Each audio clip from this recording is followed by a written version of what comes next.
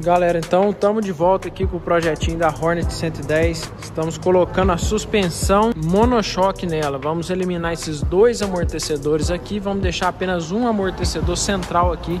Quem acompanhou no último vídeo aí sabe o que, que eu estou falando.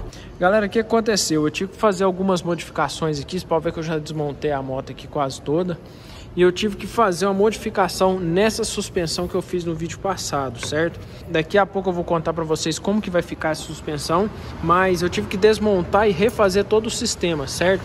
Vou mostrar para vocês aqui qual foi a modificação que eu tive que fazer, mas agora ficou melhor, mais simples e não vai me trazer problemas futuros.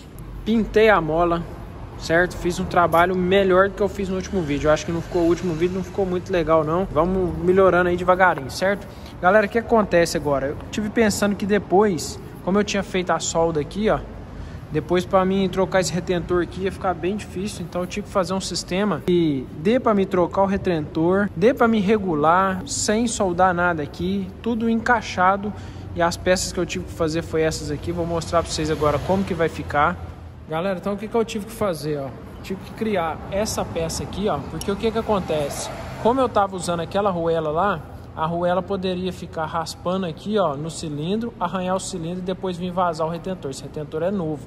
Troquei, coloquei óleo, essa bengala está revisada. Então eu tive que fazer essa peça aqui, que me demorou um tempo para fazer ela. Ela vai encaixar aqui dessa forma aqui. Porque aí, ó, dessa forma que ela encaixa aqui, o cilindro não pega, certo? Ele vai amortecer aqui, ó e não vai ficar encostando de forma nenhuma, ele vai encostar aqui, então não vai arranhar, certo? Vamos lá, agora o próximo passo, agora eu venho com a mola aqui, ó, coloco ela aqui dentro e a mola também, ela não vai ficar mais é, encostando, ela poderia encostar aqui no cilindro. E aqui tem um ressalto aqui, ó, não sei se vai dar para vocês verem, mas esse ressalto não vai permitir a mola fazer esse deslocamento, tá? Ela não vai encostar de forma nenhuma no cilindro. Então essa parte de baixo aqui, retentor, nunca mais seguir vendo dar problema. Quando der para me trocar é só desmontar tudo aqui que sai fácil, certo? E a grande dificuldade seria aqui em cima. Eu tinha soldado aqueles pininhos aqui porque eu queria fazer a regulagem. Eu queria manter essa regulagem aqui porque eu não sei qual que vai ser a reação que esse sistema vai dar na moto, né? Porque aí se eu tiver que regular, depois que ela estiver no local aí vai ficar mais difícil, né? Então, o que, que eu vou fazer aqui agora? Vou entrar com a arruela primeiro, certo? Aqui em cima, galera, não tem problema arranhar, porque aqui não passa no retentor. Aí depois eu venho com esse tubo e depois eu venho com o regulador. Aí eu vou apertar a mola aqui, ela vai dar pressão, certo?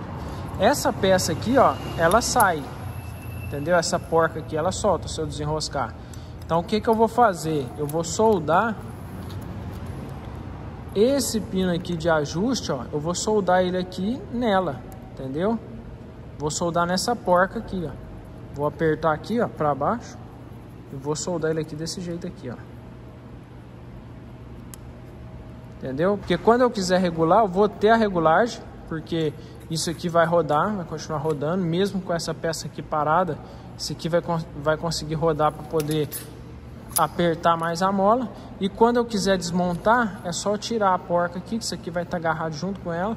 Aí vai sair isso, vai sair isso. E aí eu posso dar manutenção nessa suspensão, beleza?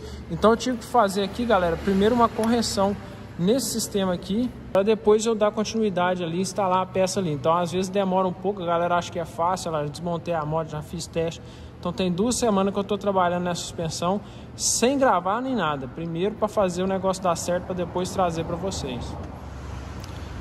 Aí galera, pronto, já fiz o esquema aqui, ó. Então o que acontece? Essa trava aqui ela tá soldada nessa porca. Então se eu desenroscar essa porca, a trava vai sair junto. Isso aqui tudo roda junto, que é tudo solto, tá? Não tem nada soldado na bengala, tá bom? Eu soldei de uma forma que pegou só na porca. Eu ainda vou reforçar essa solda aqui que vai vir uma chapinha aqui ainda, que é a chapa que vai que vamos usar para parafusar. Então essa solda aqui, galera, eu vou reforçar ela mais ainda, beleza? Mas só para vocês entenderem, ó Aqui, ó, porque aqui eu consigo fazer. Aí, ó, consigo regular ela. Já pulei pro segundo. Posso caminhar com ela aqui, ó, até pro último aqui tranquilamente, beleza? Aqui porque eu tô com a mão só filmando e fazendo tudo. Mas era essa regulagem que eu queria, certo? Usar a ruela, tá vendo? Eu ia colocar uma ruela aqui, acabou que nem precisou. Fiz um trampo aqui no tubo mesmo. Então vocês podem ver aí que agora, mano, tá perfeito agora, certo? Agora que tá, agora nós vamos fazer a instalação dela na moto, vocês vão ver onde vai ficar essa suspensão, porque ó, é quase o tamanho da moto inteira, a suspensão ficou muito grande, mano. E nós vamos colocar ela aqui, ó, nessa distância aqui, ó, entre a balança e o chassi. Aí, galera, o local que a gente vai colocar eu li todos os comentários do vídeo passado e algumas pessoas acertaram onde essa suspensão vai ficar. Só quem é das antigas mesmo sabe, e muita gente comentou de onde eu tirei a referência. Realmente, a referência eu tirei da DT 180 e é aqui, ó. É dentro desse tubo aqui, ó, que vai até lá na cabeça da moto, que a suspensão vai trabalhar. Ela vai entrar aqui, ó, certo? E aí ela vai entrar aqui dentro do chassi. Eu vou tirar essa tampa aqui, ó. Aqui tem uma solda bem pequena. Aqui tem uma solda aqui. Vou cortar com a lixadeira. E aí nós vamos abrir esse tubo. E esse tubo ele passa por dentro do chassi. Então, na verdade esse tubo é o chassi da moto. Então ele vai ficar dessa forma aqui, ó. E aí vocês vão ver como que vai ser lá na frente. Vou desmontar aqui a carenagem também Vou fazer o suporte para a gente prender esse aqui. E tenho que fazer um suporte na balança aqui também. Lembrando, galera, que essa balança também eu vou reforçar ela, tá bom? Eu vou usar ela assim por enquanto para me fazer os testes. Depois que tiver tudo certinho, eu vou reforçar a balança, beleza? Então, por enquanto ela vai ficar assim original, mas ela não aguenta. Isso eu sei. Muita gente vai comentar: ah, essa balança não vai aguentar. Eu sei que não vai, mas eu vou reforçar ela inteira ou talvez fazer outra, não sei. Primeiro eu preciso ver essa dinâmica aqui, ver se vai dar certo, se vai encaixar ali tudo certinho. Então tem muito trampo ainda pra gente trazer aqui pra vocês verem.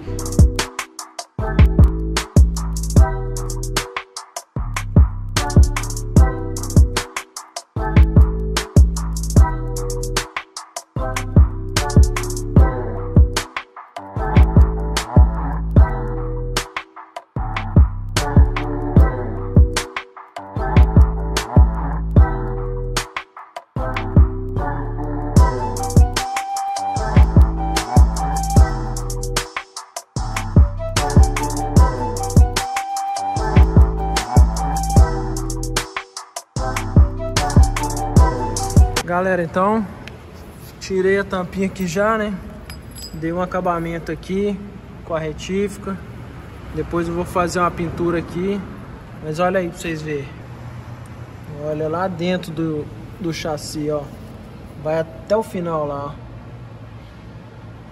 ó. Então o que, que a gente vai fazer? A suspensão, galera, acertou quem disse que ela ia entrar dentro do chassi. Vamos, vamos ver aqui agora se ela vai entrar, né? Se ela vai até no final lá. Vamos ver agora.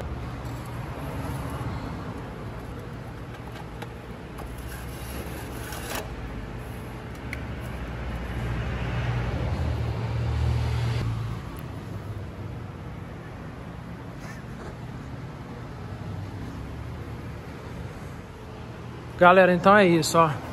Ela encaixou lá certinho já até apoiou lá, ó. encaixou lá certinho, então ela deve estar tá mais ou menos aqui no final aqui do chassi. Vou ter que desmontar isso aqui para me ver o local certinho de onde ela parou, mas basicamente é isso aqui. O que vai ficar para fora da suspensão vai ser só essa quantidade aqui, certo? Então não vai aparecer, igual eu disse que eu queria uma suspensão invisível, vai ficar bem discreto porque não vai ficar aparecendo as molas, né? Que a mola tá interna. E o espaço aqui é bem grande, então dá para ela mexer que ela não vai ficar encostando no tubo, entendeu? Então ela vai ter ali um espaço para ela poder trabalhar, que é essa dinâmica que a gente vai ter que ver aqui, ó, na hora que a balança pegar. Vou montar a balança aqui agora para nós ver.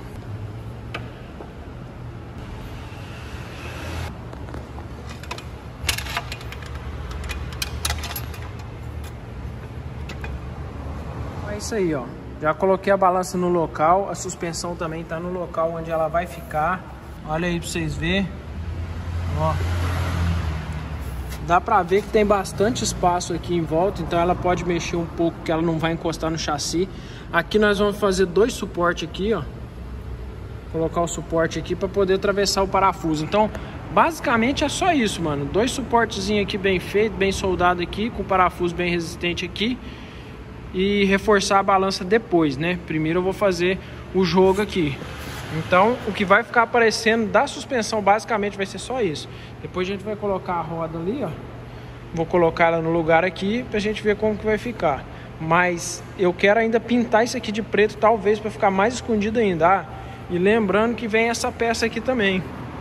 Essa peça aqui também, vou fazer um corte nela aqui, porque eu quero manter aquela peça. Então isso aqui vai ficar escondido, ela vai ficar com esse buraco aqui totalmente no ar sem parecer nada de suspensão. E aqui na frente vocês vão ver como que vai ficar. Aí galera, eu tive até um problema no meu microfone aí, não sei se vocês perceberam que o áudio está bem ruim.